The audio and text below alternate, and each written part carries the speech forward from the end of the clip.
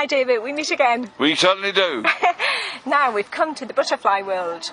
Now, how did you get involved in such a fantastic project like this? Well, a, a long time ago I met Clive Farrell. He's a genius. He knows more about butterflies than probably the rest of the world put together in certain aspects. And he, his dream was to put the butterflies back, not just into Greater London, but into uh, Britain and the world. Um, that have disappeared. And when you think, when I was a kid, lived in the East End of London, I could pick a bunch of wildflowers for my mum for her birthday, Yes. and they smelt sweet and they had nectar, and they were surrounded by butterflies and bees and things like that. They've all gone. And well, not all gone. If you go and look in the right place, they're still there. And if we give them a little bit of helping hand, wow, they come back again. And that's what Butterfly World and the future gardens here to show people we can have our cake and eat it. Because without bees and butterflies, what would pollinate the plant? One third of all our farmers' crops need them. So put them back and I can retire. Now there is a big problem, isn't there, at the moment, David, with with the bees? People are quite concerned. They they seem to be depleting. Why is that? Well, if you think how different London is to when David Byrne was a little boy, um, there were people digging for victory, and the things we dug for victory and the food we grew um, also helped the caterpillars and the other things.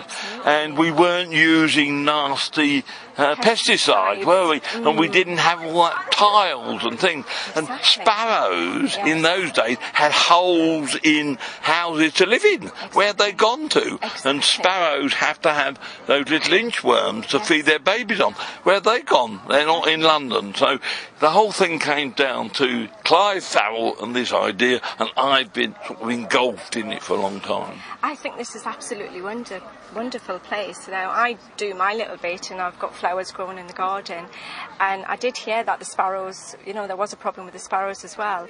So I constantly put out food for the birds and the bird seed and everything, and I'm really pleased to say that I have got a family of sparrows that come to the garden.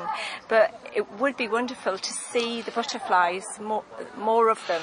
Well, I mean that What is not suggest? rocket science. What- I mean, give us give us um, uh, nine months and you can bring them back. That's all it takes. Okay, which- I mean, which you see, for a start, this site was a bit of ordinary Britain, which had had had all sorts of things sprayed on it, including far too much in the way of fertilisers. Mm. So only the big nasty weeds came up, and all the poor little weeds which have Flowers got things lost. disappeared.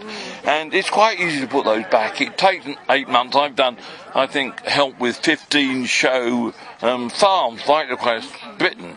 And, you know, we started off with no skylarks.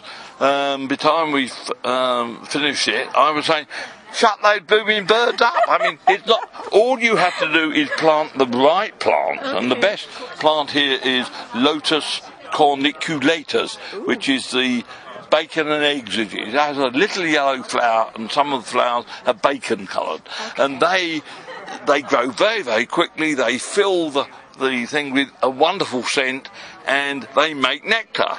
And if you put those right in the middle of, Of the a of a, um, a farmer's field, Okay. which is full of barley and stuff, Okay.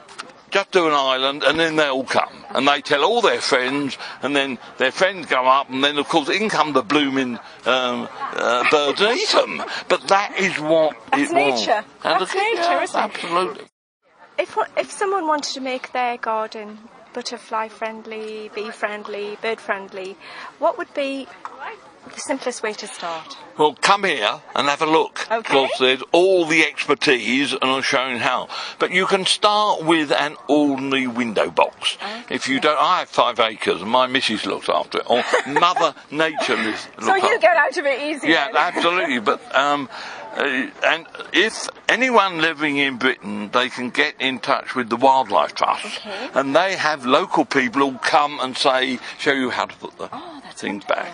So uh, there's a, a network of the Wildlife Trust, and at one time I was president of all uh, 47 of them.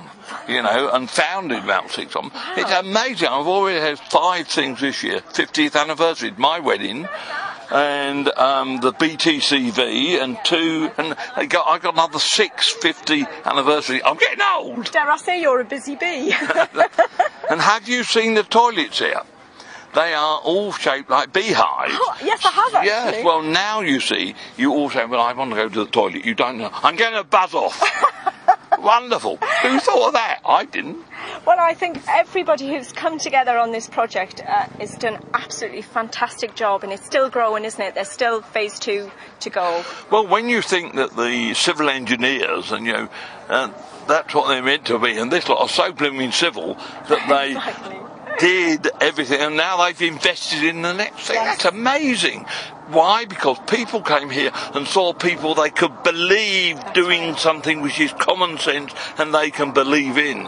And when you get Britain back like that, as we were in the Second World War, we can beat anything. That note, David, thank you so much for your time. It's been absolutely fantastic talking to you and getting your points of view on Butterfly World. And let's hope it's a success for the future. And see you again. A butterfly kiss. Oh, butterfly kisses. thank you so much. Okay.